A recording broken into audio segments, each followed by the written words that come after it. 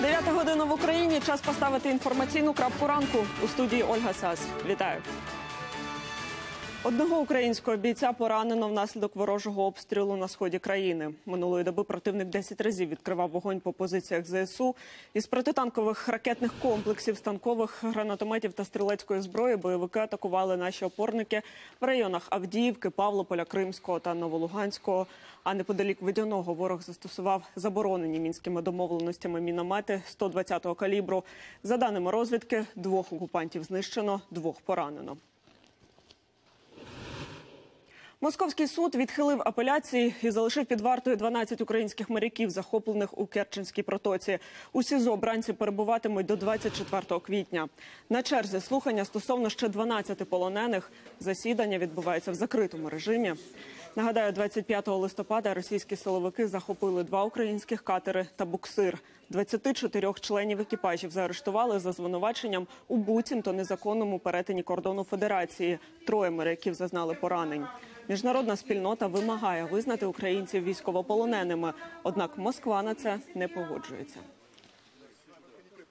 А После того, как э, Лефортовский районный суд продлил срок содержания под стражей по ходатайству э, Следственного управления ФСБ до конца апреля в отношении 24 военнопленных украинских моряков, э, было очевидно, что э, апелляционная инстанция также не будет принимать во внимание э, международный статус военнопленных, не будет принимать во внимание доводы защиты относительно нарушений подсудности, поскольку по Третьей Женевской конвенции э, рассматривать такие дела могут только военные суды. И э, было совершенно очевидно, что оставят в силе постановление суда первой инстанции. Кабмін повернув Уляну Супрун на роботу. Уряд дозволив виконувачці обов'язків міністра охорони здоров'я і далі ухвалювати рішення, крім тих, які вимагають виняткових повноважень. Ця постанова дозволяє затвердити розподіл вакцин і препаратів у регіони, направити на закордонне лікування українців, продовжити процес будівництва дитячої лік- лікарні Охмаддит, а також закуповувати обладнання. Раніше повідомлялося, що Кабмін вирішив звернутися зі скаргою до Вищої ради правосуддя щодо судді Сер- Сергія Каркашяна, який 5 лютого ухвалив рішення про заборону Супрун виконувати обов'язки міністра охорони здоров'я України.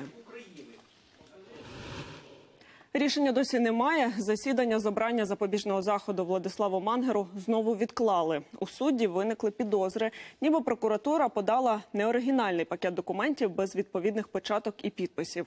Слухання має продовжитися сьогодні о 10.30. Як відомо, голову Херсонської облради підозрюють в організації вбивства активістки Катерини Гандзюк. Сьогодні буде третій день, як чиновнику обирають запобіжний захід. Учора засідання тривало до півночі.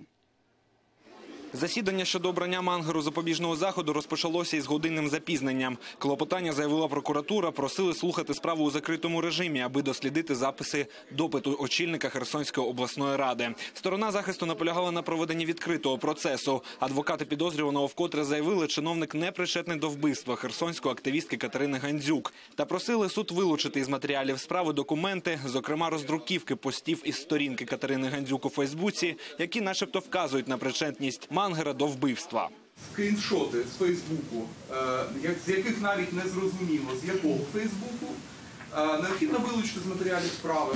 Сторона обвинувачення стверджує, що Мангер замовив Гандзюк через публікації в Фейсбуці, які, до речі, якщо вчинити ті дії, які вказані слідством, то неможливо відкрити ту сторінку, на яку вони посилаються.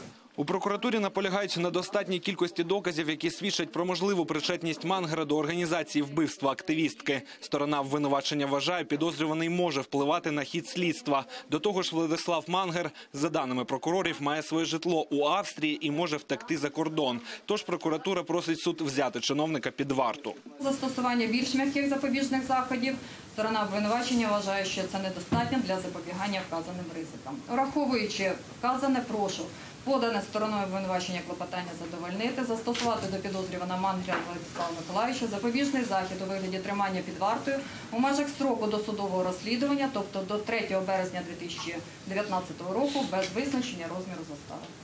У суді сторона захисту заявила близько 10 клопотань. Адвокати навіть наполягали на проходженні підзахисним поліграфу. У прокуратурі виступили проти. Цю позицію підтримав і суд, адже на стадії обрання запобіжного заходу проходження на поліграфі законом не передбачено. Зрештою, слово узяв підозрюваний. Він виступив із заявою, який звинуватив генерала СБУ Даниїла Доценка в організації вбивства Катерини Гандзюк. що мені відомо про те, що Катерина тісно співпрацювала з Службою безпеки України та знаходилась у прямому підпорядкуванні генерала СБУ Данила Доценка. Я вважаю, що Данило Доценко організував напад на Катерину Гансюк з метою дискредитації органів поліції. Але після того, і на що в нас є незаперечні докази, але після того, як результатом нападу стали дуже тяжкі наслідки, відбулось фізичне знищення Катерини. Заяву про причетність свого співробітника в СБУ вже спростували і назвали наклепом з метою передачі справи в інший правоохоронний орган. Даніл Снісер, Андрій Ярковий, телеканал Інтер. В Україні суд уперше виніс вирок за булінг. За цькування ровесниці покарали батьків учениці однієї зі шкіл Борисполя. Вона викладала в інстаграм непристойні фото іншої дівчинки. На суді школярка свою провину визнала, тож вирок Феміди не надто суворий. З матері хуліганки стягнули штраф 1234 гривні. Нагадаю, в грудні парламент ухвалив законопроект протиді- протидії булінгу, який захищає дітей, вчителів та батьків. До цього часу закону проти цькування в Україні не було. На Запоріжжі в райцентрі Приазовське масово звільняють з роботи діячів культури, а осередки, які вони очолювали, закривають. Вже не працюють творчі колективи будинку культури, районна бібліотека та краєзнавчий музей. Мої колеги продовжать. Всего доброго. Чем я спасибо. Тетяна Кукла майже 20 років керувала дитячим хореографічним колективом Фантазія. Тепер прощається з вихованцями. На згадку про виступи та гастролі в костюмерній висять тепер нікому не потрібні сценічні костюми. Мы оказались не в удел, мы оказались не нужны. Это очень обидно. А від тутешнього народного оркестру не залишилось навіть інструментів, тільки ось цей зламаний барабан та ноти. Звание «Народный коллектив» э, просто так не дается, не всем коллективам. Ну, то есть, конечно, это, ну, я считаю, большая, большая потеря для Приазовского. Розпалася й місцева рок-група. Хлопцям більше ніде проводити репетиції. Все сейчас растащат, мне ничего не будет. Молодежи некуда будет. Там в подвалах собираться, как вы говорите, будем. Разом із місцевим будинком культури в Приазовському вже закрили дві бібліотеки. На черзі краєзнавчий музей. Персонал уже звільнили. полностью пойдет деградация. Это мы что начинаем все с культуры.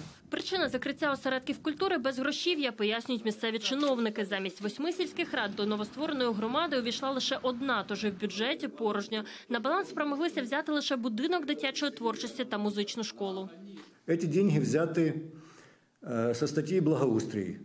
Мы себе отдаем отчет в том, что в 2019 году мы не залатаем ни одной ямы на дорогах, сельских поселковых дорогах, не повесим ни одного фонаря.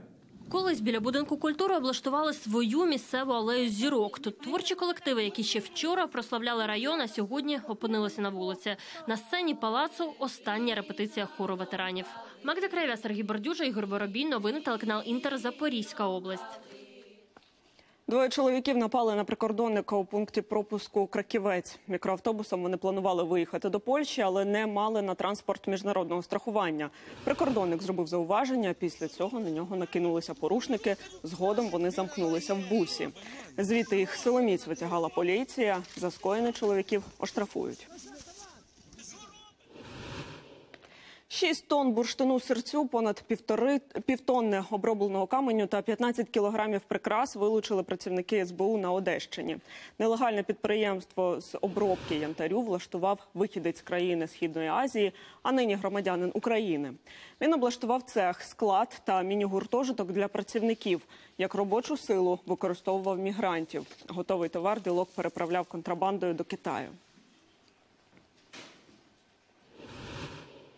Пісок та сіль за ціною золота на Львівщині. Директор одного із комунальних підприємств за державні кошти закупив кам'яну сіль та пісок за найвищою в Україні вартістю. Дешевше виявилося навіть у столиці. Христина Гашенко дізнавалася, чому посадовець так неощадливо витратив бюджетні гроші. Інженер самбірського комунального підприємства показує господарство. От пісок. Сіль треба зайти всередину. Ці суміші закупили на сайті державних закупівель Прозоро. За тонну солі місцевому приватнику заплатили майже 3 тисячі гривень. Це найвища ціна по Україні. В інтернеті ми знаходимо кілька оголошень щодо продажу солі. Приміром, у Києві тонну можна придбати трохи більше як за тисячу гривень, але возити звідти вийде ще дорожче, каже директор. Порахувавши логістику, якщо ми порахуємо логістику, 1300 кілометрів самбір Київ, Київ самбір, це вийде десь в районі 300-350, е, 3300, 3350 за тонну, якщо б ми брали 20 тонн, якщо б ми везли. У того ж підприємця придбали й пісок 470 гривень за тонну, хоча значно дешевших пропозицій безліч. На скуп коштує 160 гривень в кар'єрі, плюс транспортування. 30 гривень за кілометр в обидві сторони рахується.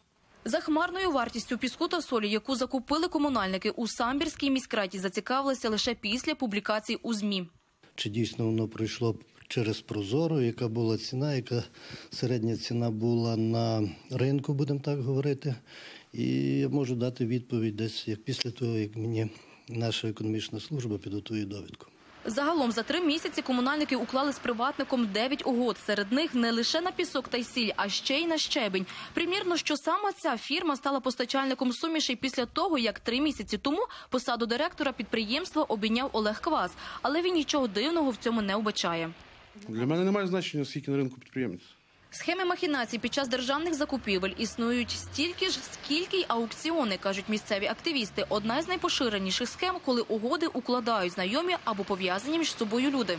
Хтось збільшує ціну, хтось трошки дає менше, а хтось таку нібито найнижчу. Все залежить, напевно, від керівників і тендерних комітетів. Якщо тендерні комітети і керівники не збираються на тому заробляти свої відкати, то вони відслідковують реальні ціни. Довести в суді такі корупційні схеми посадовців під час закупівель майже неможливо, кажуть юристи. Христина Гашенко, Юрій Голубінка. Новини телеканал Інтер. Львівська область.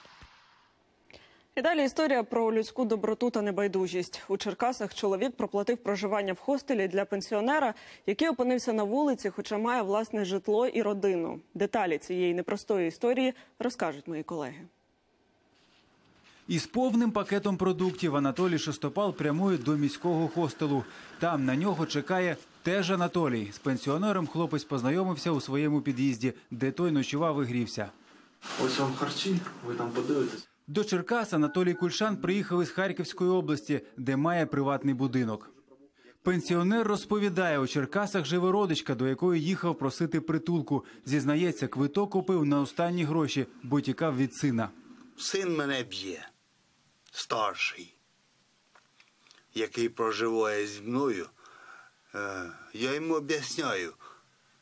Я ж твій батько і. Ну як тобі сказати? Ти якщо хочеш з ким-то битися, ти вибирай е, по собі соперника. Телефоном сільський дільничий розповів нам, що син Анатолія випиває і конфлікти в їхній родині трапляються часто. Син з батьком не можуть поділити будинок. Але коли заходить діло до якихось перевірок, я нічого не хочу, мені нічого не потрібно. Що з однієї сторони, що з другої сторони. Хлопець намагався прилаштувати дідуся через соцслужби, але марно. Перетелефонував до соціальних служб велику кількість, але вони е, порадили звернутися до волонтерських організацій. Але як скажімо так, воно все пішло колом. Тобто телефон за телефоном, потім е, номер за номером. У мерії кажуть, допомогли пенсіонерів та центру, в якому б надавали допомогу таким людям в місті, немає. Таким напрямком роботи займається громадська організація від серця до серця. Відповідно, ми з ними співпрацюємо. Зараз на 2019 рік близько півмільйона буде складати фінансова підтримка.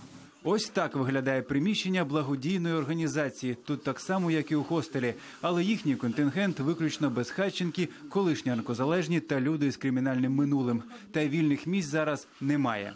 Ми беремо людей, які проходять ресоціалізацію в центрі десь півроку. Ми по мірі можливості допомагаємо їм відновити документи, реєстрацію. У пенсіонера закінчується остання доба проживання у хостелі, яку проплатив рятівник. На більше ані у хлопця, ані у пенсіонера грошей немає. Тож Анатолію Кульшану знову доведеться шукати прихистку у під'їздах. Богдан Журавель, Станіслав Кухарчук, Павло Тимошенко, телеканал Інтер, Черкаси. Новий пакет санкцій проти Росії ініціювали у США. Сенатори презентували законопроект, покликаний покарати Москву за втручання у президентські вибори в Штатах 16-го року та агресію проти України. Список запропонованих заходів ділиться на дві частини. Перша передбачає обмеження у відповідь на втручання Кремля в, демократи... в демократичні інституції за кордоном. Друга стосується російської агресії в Україні. Санкції пропонують запровадити проти кораблебудівного сектора Росії та працівників ФСБ, причетних до захоплення українських моряків у Керченській протоці. Канцлер Німеччини Ангела Меркель не піде з посади до кінця своєї каденції, що спливає за два роки. Плани щодо свого політичного майбутнього глава уряду розкрила під час візиту до Люксембурга. Крісло під залізною німецькою леді захиталося на тлі мігрантської кризи. У грудні вона пішла з посади голови партії Християнсько-демократичний союз, якою керувала 18 років, і заявила, що більше не балотуватиметься на політичні посади. Німецький уряд Ангела Меркель очолює вже в четверте. У південній Кореї розпочалася операція з порятунку собак із м'ясної ферми. Близько двох сотень псів з тамтешніх кліток волонтери доправлять у США та Канаду для реабілітації і пошуку господарів. За чотири роки активісти закрили вже 15 таких закладів. Загалом національна традиція вживання собачатини в їжу в Кореї стрімко пішла на спад. За опитуваннями її не сприймають вже понад 70% громадян. Тож фермери, що розводили тварин на забій, втрачають заробітки і змушені пере- переорієнтувати свій бізнес. Уперше за понад 100 років у Африці сфотографували рідкісного чорного леопарда. На світлину потрапила пантера з Кенії. Для того, щоб зробити таке фото, команда дослідників протягом року спостерігала за місцем, де раніше жила популяція цих хижаків. Відзняти рідкісну тварину пощастило британському фотографу Вілу Берарду Лукасу. Востаннє чорний леопард потрапляв в об'єктив камери у 1909 році.